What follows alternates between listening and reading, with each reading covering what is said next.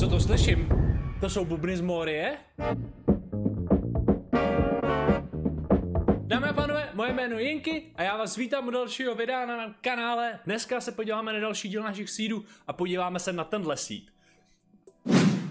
Síť si samozřejmě můžete kopírovat z popisku videa, taky tam máte souřenice všech zajímavých míst na téhle mapě. Tentokrát je jich maličko míň, ale to je kvůli tomu, že jsme na kontinentu a ne na moři, jako předchozí díly. Respektive na mapě prostě není moře. A moře je plný tvraků, uh, truhel, jak se tomu říká, portálů, jo, to je plný, takže jako hrajeme na na souši dneska, tak toho není tolik, ale já si myslím, že to je to zajímavější, ty vraky prostě nejsou moc zajímavý. A abyste pochopili, proč jsem v intru dělal narážku na pána prstenů, tak se od spawnu budeme muset letět podívat trošku na východ, kudy je i Mordor, přes temné hvozdy a pohoří, narazíte dřív nebo později na tuhle vesnici a vy možná začínáte chápat, proč jsem tenhle díl pojmenoval hledání roklinky, nebo jak najít roklinku, protože tohle je roklinka.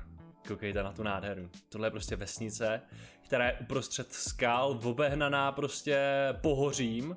Tohle je asi její nejpříjemnější cesta, kudy se tam dá dostat, tady tahle ta louka, ale i ta je dost kopcovatá, protože tady to jde zase skrz skály do další krajiny. Jo, zrovna tak tady, tady taky to jde skrz prostě skály a pohoří a průsmyky do další krajiny. A je to nádherně obehnaný celý skálama. A je to samo o sobě to různorodý, koukejte na tenhle pohled. Tamhle nahoře je barák, tady je křivolaká cesta, která teda z toho, jak se nagenerovala, není schůdná, ale to, to si můžete snadno poupravit. Tady to pokračuje dolů přes nějaký další farmy, další farmy. Tady je jeskyně nějaká, nevím jak je hluboká, v shaderech tady je prd vidět, ale skeleton. A já si to přepnu na písmo, aby nám tady zatím uh, nevymlátili ty mobové, ty villagery, o kterých vám tady chci ukazovat. Tak a tady se to táhne dolů, tady pokračují cesty, jo, protože oni prostě se tam pokládají ze vzduchu, jakoby z kolmního pohledu. A tady to pokračuje, tady to pokračuje, sam to vede, tady vede trošku cesta ještě nahoru, tady je domeček, a tady vede cesta ještě trochu nahoru, ta až sem vlastně, že to můžete teoreticky taky pokultivovat a rozšířit. Tamhle to přechází v nádherný kytičkový biom, nebo já nevím, jestli to je vyloženě biom, nebo jenom taková oblast, ale je to tady nádherně různorodý a fakt jako barevný, krása. Úplně nádher... Já jsem neviděl v životě v Minecraftu tak hezkou vesnici, a to jsem viděl hodně vesnic.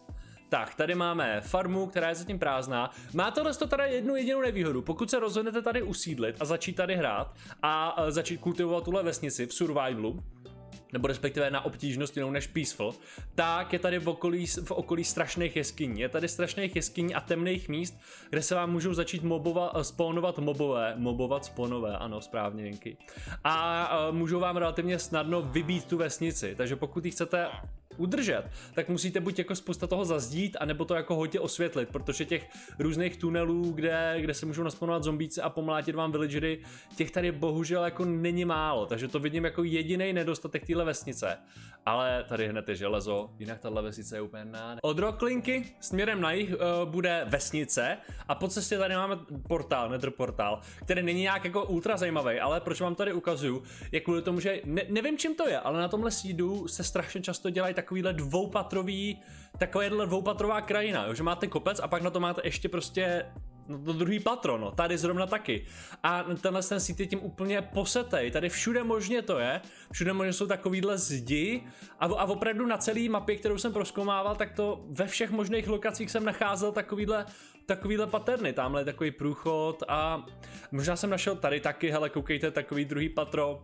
No a narážíme na tu další vesnici, ve které je kovář, dva kostely, kovář to se může hodit a to je taky moc pěkná, je vedle bažin, protože bažiny vám se můžou hodit na začátku, protože tam jsou slimeové a slimebally se na začátku můžou hodit hodně. A tahle vesnice je poměrně rozsáhlá, když se podíváte, tak uh, těch domečků tady není vůbec málo. Jsou tady houby, stromy, jo, je to na hranici několika biomů, okolo hezký krajiny a mě přijde moc hezká tahle vesnice. Podíváme se, co tady má. Uh, hele, a zase tady ta dvoupatrovost. Ta dvoupatrovost tohle sídu. Zase. Podíváme se, co má kovář. Podíváme se, co by se mohli ukrást. Železný pikex, nějaký železo a kalhoty. To není špatný. Za tím kovářem máme zase vidět takovou tu dvoupatrovost tohohle sídu.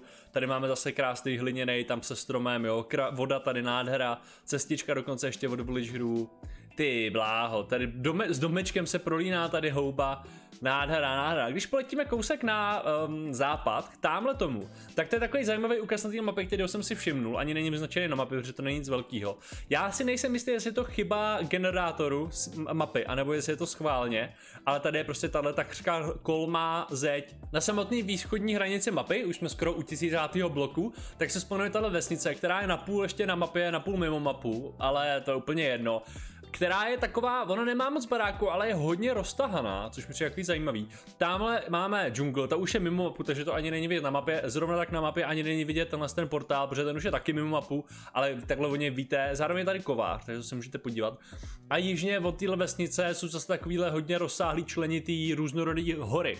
Takže pokud chcete být poblíž vesnice, ale máte rádi takovýhle divoký hory a nelíbí se vám roklinka z nějakého důvodu, tak si můžete tady taky jako krásně užít, protože jsou taky moc pěkný. A poslední věc, respektive dvě věci, které vám na tomhle stídu ukážu, je tahle ta smrková vesnice, nebo tundrová vesnice, který se zase tak často nevidějí. Tady krásně navazuje, mo, pardon, navazuje molo z řeky, rybářský domeček, něco takového a tady vstup do samotné vesnice, která je v těch stromech úplně ztracená. Normálně pokud by se z nich nekouřilo, tak ji podle mě jen tak nenajdete. Zase tady máme vidět krásně dvoupatrovost tohohle z toho sídu a následně tamhle tím směrem kousínek je hned další vesnice. Je to fakt jako 200-300 bloků, fakt co by kamenem dohodil, teda pokud umíte hodně dobře házet kamena, kamenama. a tady je uh, zase obyčejná pláňová vesnice, ale zase má tady zase prvky toho té dvoupatrovosti. Vidíte to? Tady je to všude. Mám defaultní generátor uh, map a stejně se mi to tady na tomhle seedu generuje takhle. A tahle vesnice je zajímavá v tom, že tady má takovýto údolíčko tady uprostřed, to mě celkem zaujalo, že ta vesnice je tady, pak je trošku voda, zatím je tady se to dá takhle obejí, ta vesnice tam pokračuje, jsou tady, je to zase ve svahu a vesnice ve svahu vypadá hrozně dobře. A tady zase nějaký políčko a zase tady pod, pod převisem jako chajda. A co by kamenem dohodil druhá vesnice, tam doslova vidíme, vidíme kouř. Na mapě ještě můžete vidět, že ještě jsou nějaký portály tady na mapě, ale ty vám ukazovat nebudu, že portály, nether portály, to je furt to samý, to je nuda. Ale co vám ukážu je roklinku z dronního pohledu.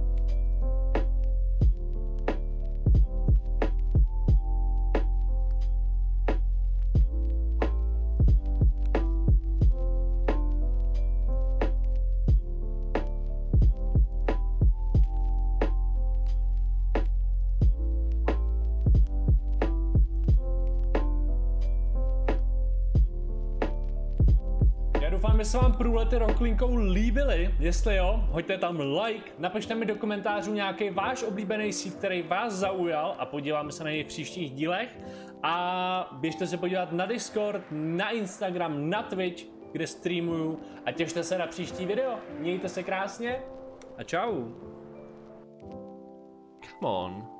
Come on. Dobře, jak jsem ho poslal zpátky k rodičům, no, budiš. Ale on stejně spadne. Zřiďme ho později.